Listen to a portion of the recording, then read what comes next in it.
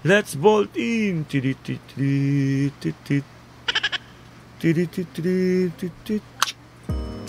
Naikabit na natin. Ngayon, itetest na natin. Hey mga kasista, let's unbox this one. Let's go.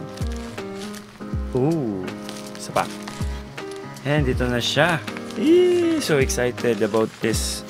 So today, papakita ko sa inyo yung in-order kong product from Cable. As of now, yung binili ko from Cable is yung solderless na mga patch cables. Yung kit nila, yung kompleto, merong tester, merong screwdriver, merong mga hybrid jacks, and meron ding wire or cable. And yan, naka-ziplock siya. Totoo, yung pinakita ni Pax, legit na legit yung packaging nila, naka-ziplock. Anytime pwede mo siyang i-reuse. Bubuksan na natin para makita natin kung isakto ba yung laman ng kit na to. Let's go. By the way guys, this is not a sponsored video. Nag-order talaga ako nito para personal use. So gusto ko lang i-share para at least maging aware din yung ibang mga musikero or mga gitarista dyan. Baka gusto din nilang gumamit ng mga ganitong patch cables. Shoutout pala kay Pax, thank you so much kasi andyan ka, andyan kayong mga musikero na tumutulong din sa mga aspiring musicians dyan. Maraming salamat sa inyo mga coaches. Ngayon, bubuksan na natin kung totoo. Siyempre may dala siyang user manual kung paano natin i-assemble yung mga patch cables natin. For now, tatabi ko lang muna ito, ipapakita ko lang muna sa inyo yung loob ng ziplock. Unang product sa kit, naka-ziplock din na maliit. Andito na nakalagay yung tester, screwdriver, and yung wire cutter. Nandito na lahat sa isang ziplock na maliit. And then after nito is yung wire mismo. Ay, sorry, nahulog. Again, yung wire mismo para sa patch cables. Ang ganda ng wire kasi hindi siya makapal. Manipis lang siya and madali lang siyang Ano, ano, ano? madali lang siyang itupi. Kumbaga flexible siya and uh, mas maganda yung manipis sa pedal board kasi para hindi magulo tignan. Okay, hindi ko lang alam kung ilang meters to, nakalimutan ko. Basta kung mag-order kayo ng kit, nakalagay naman doon kung ilang meters yung wire. Tapos kung gusto niyo mag-repurchase, meron naman din sa kanila. Pwede kayong bumili ng wire lang mismo. And syempre, last but not the least, yung mga hybrid jacks natin. Yan, apat na maliliit na ziplocks yung lagayan. Every ziplock is may apat na hybrid jacks sa loob.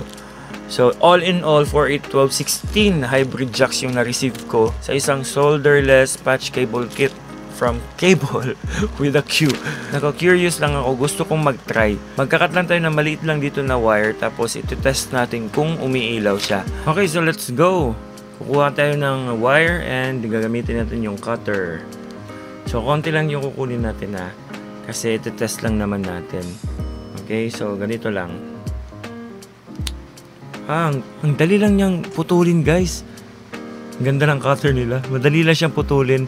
Hindi siya matigas. So, ito yung wire na gagamitin natin ngayon for testing. Maliit lang. Next is kukuha tayo ng hybrid jacks. Kaya tinawag siya na hybrid jack kasi pwede mo siyang gawing pa-L na jack or pwede mo siya ding gawing straight.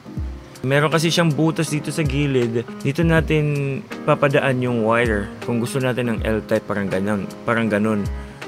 Tapos kung gusto naman natin straight yung plug, is dito tayo sa taas maglalagay ng wire. Gusto kong subukan yung L-type.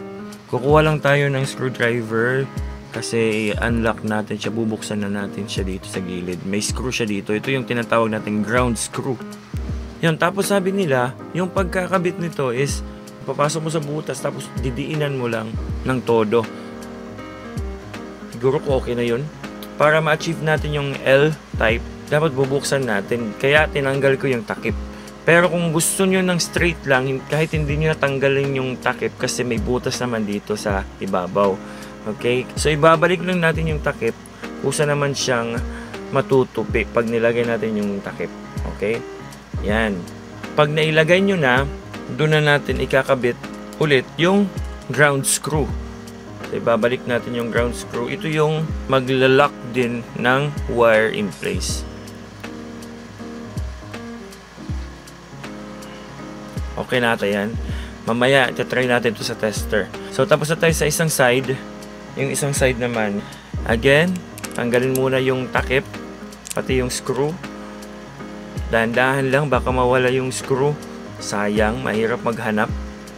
So, ilalagay natin ulit yung wire dito sa jack. So, again, didiinan lang natin ng todo-todo.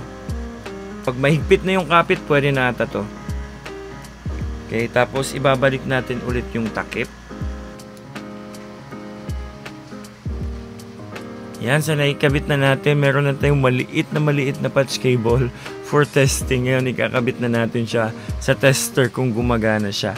Alright, now, yung nakalagay dito, by the way, sa user manual na instruction is pag yung switch down ng tester is nasa gitna, it means off. So, lahat ng mga indicator lights naka-off.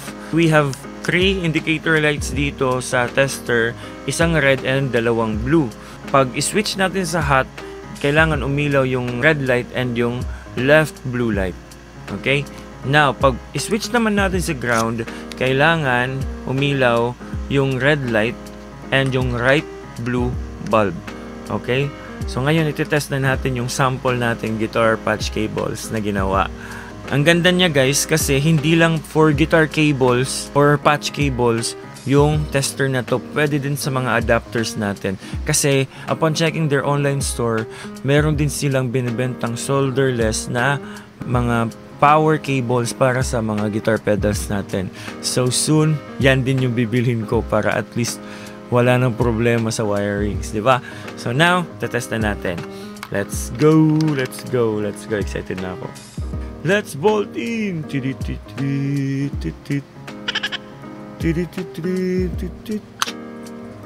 Naikabit na natin. Ngayon, itetest na natin. Sa hot muna tayo, hot section. So, isi-switch lang natin to the left. Kailangan, again, umilaw yung red light and yung left blue light. 1, 2, 3, the moment of truth. Oh, umilaw. Red light and left blue light. It means maganda yung connection natin sa hot. And sa ground, kailangan yung isang blue light naman yung umilaw and yung isang red light. Let's go. Umilaw. It means maganda yung connection ng ginawa nating patch cable. Ang galing. Di umabot ata ng 5 minutes yung paggawa ko ng patch cable na to.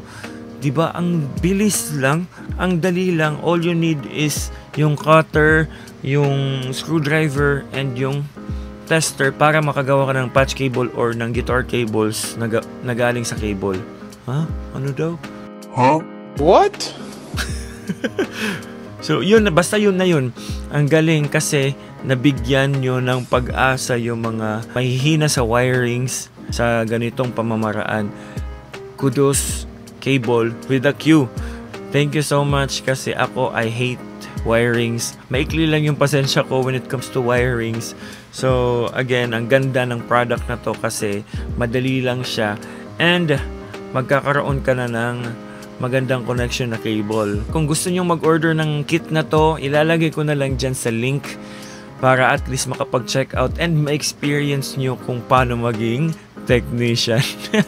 Naabangan nyo naman yung next video ko kasi yung i-unbox ko na naman is yung guitar cable naman na solderless which is yung tinatawag ni Pax na infinite cable daw. Kasi pag mawalan ka ng connection, putulin mo lang, ikabit mo ulit yung jack and yun, you're good to go again. Abangan nyo yung video na yan soon i-upload ko din. Matinding editing pa. Anyway, thank you for watching. Gab Munoz here. Sana makatulong to and see you on the next video. Follow for more.